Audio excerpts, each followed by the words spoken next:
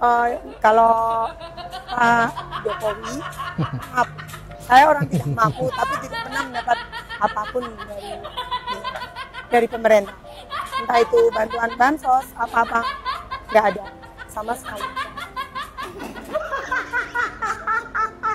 Ya, ya harapannya pemimpin ke depan sama pimpinan yang ada di uh, yang di atas lebih mem, apa lebih mementingkan rakyat terus terjun langsung kalau bisa. Terjun langsung ke masyarakat. Biar mereka tahu hey mana yang ini yang lebih kaya atau lebih miskin ini yang lebih lebih baik dibantu atau ini yang tidak lebih baik dibantu. Bu, Bu, Bu ya sadar. Anda mengharapkan dapat bantuan, bansos, atau apa, Anda mengeluh nggak dapat bantuan dari pemerintah, lalu gelang Anda itu ya sampai berjejer empat gitu di tangan. Kok masih mengharapkan bansos? Lah apa nggak malu sama gelang yang dipakai itu? Terus tadi Anda menyebut mengharapkan ya Eh, pemimpin ke depannya itu bisa turun langsung ke bawah, bisa melihat kondisi masyarakat secara langsung. Nah, apa yang Anda harapkan itu selama ini sudah dilakukan oleh Presiden Jokowi. Di mana ya Pak Jokowi itu salah satu presiden yang begitu luar biasa karena beliau begitu dekat dengan rakyat kecil.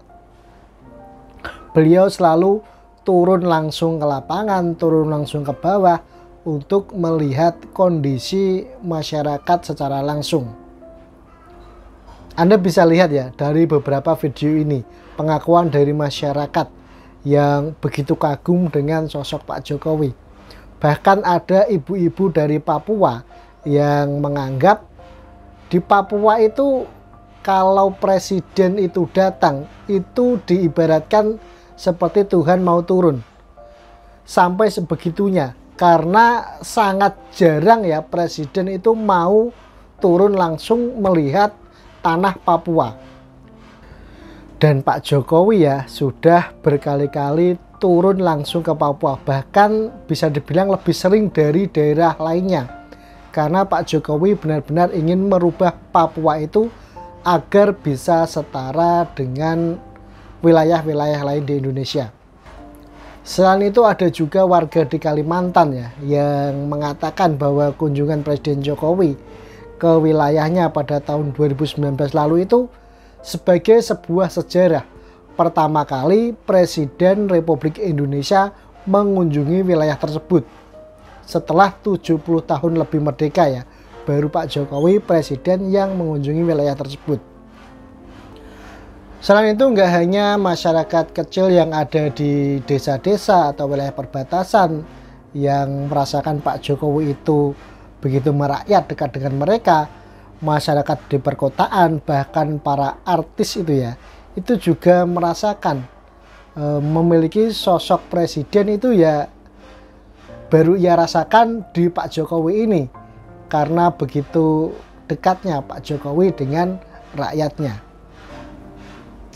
Jadi ya Bu, mau Anda tidak mengakui kinerja Pak Jokowi, Anda berusaha mendiskreditkan Pak Jokowi, itu nggak akan didengarkan oleh rakyat. Karena rakyat itu tadi, Pak Jokowi itu sudah ada di hati mereka.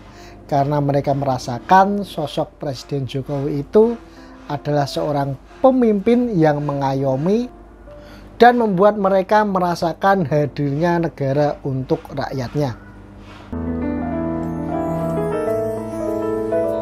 Sebelum itu kan tidak pernah presiden ke Papua.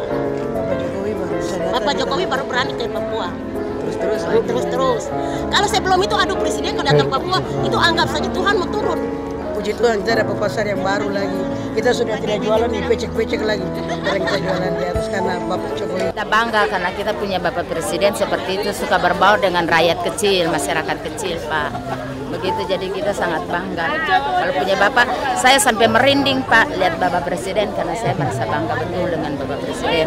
Dia tidak memilih mau kawan orang kecil, orang ini sama-sama dia ambil rata merata. Itu Pak saya senang. hampir belum pernah ngelihat presiden yang seperti itu di Indonesia. Dari dulu sampai dia dari mulai saya uh, ngerti arti kata presiden siapa presiden Indonesia dan lain sebagainya. Kayaknya melihat mereka itu ah ini presiden. Kalau sekarang tuh kayaknya ini presiden dia pemimpin tapi dia juga apa uh, he gives service to his people. Dan yang penting rakyatnya tuh bisa merasa dekat dengan beliau semoga bapak bisa menjalankan semua pekerjaannya dengan baik dan akan ada kata-kata negatif dari kiri kanan pasti kita nggak bisa kontrol atau uh, hoax atau fitnah atau apa pun itu. Tapi yang penting bapak uh, selalu tahu bahwa banyak yang cinta sama bapak yang mendoakan yang terbaik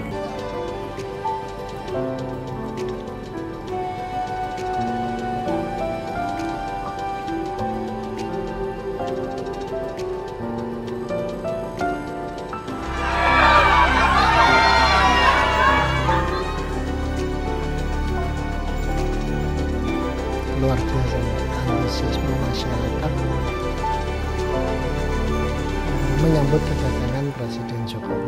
Secara keseluruhan warga masyarakat Kabupaten Ngada begitu senang, begitu bangga akan dikunjungi oleh Bapak Presiden Republik Indonesia karena jujur saja bahwa sejak Republik Indonesia merdeka kami mungkin baru kali ini dikunjungi oleh Bapak Presiden Republik Indonesia.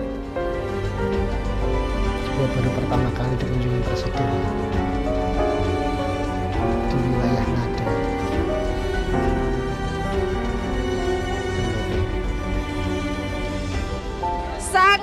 biasa gembira Pak.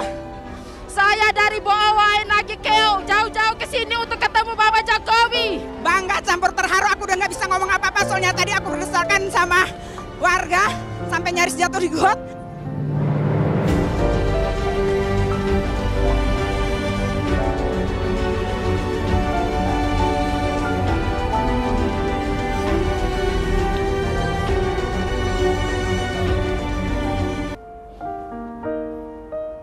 Tidak pernah ada uh, seorang presiden yang pernah datang ke sini. Hanya Bapak Jokowi, Presiden Republik Indonesia inilah yang pertama kali menginjak bumi di perbatasan. Pengakuan warga perbatasan Kalimantan.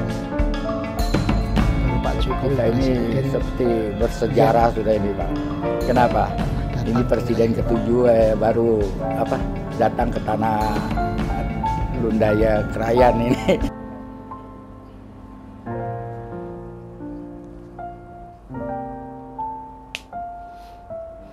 konsentrasi kita ada di pembangunan kualitas sumber daya manusia. Tetapi pembangunan infrastruktur tetap dilanjutkan karena memang banyak yang belum selesai. Kalau nggak ada jalan, ya kan, puskesmasnya gimana bisa dibangun? Sekolahnya gimana bisa dibangun? Kalau ini selesai lah, sekolah bisa dibangun, puskesmas bisa dibangun, orang sakit bisa gampang ke pusat-pusat kesehatan yang kita bangun. Inilah pentingnya infrastruktur menghubungkan antara kabupaten dengan kabupaten sehingga uh, ekonomi akan bisa berjalan karena ada mobilitas orang, mobilitas barang, mobilitas komoditas. Ya, kayaknya ini yang, yang kalau kita ke lapangan kondisinya seperti ini.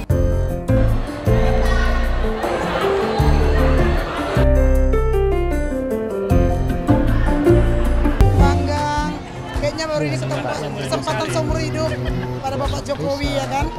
Eh, pas kebetulan kita lagi ulang tahun, kebetulan kita lagi belanja shopping kan. Mereka lari-lari ada apa ada apa. Terus saya tinggalkan belanjaan itu lari lihat Pak Jokowi gitu. Rasanya senang, bangga. Senang banget bisa ketemu Pak Jokowi hari ini. senang banget bisa bertemu Pak Jokowi hari ini. Ya, saya senang sekali, senang sekali. Ya, Maju terus. Pak Jokowi. Ya, sem- Pokoknya the best Pak Jokowi. selamat dan sukses terus Pak Jokowi. Biar Tuhan terus mengangkat martabat dan derajat bangsa Indonesia melalui Pak Jokowi. Tuhan berkati Pak Jokowi. Tapi Evi sih gak nyangka hari ini bisa foto bareng. Momen sekali seumur hidup. Bisa lah ya. Terima kasih. Terima kasih Pak Jokowi. Aku loh, Woy. Ingat ada ke sini.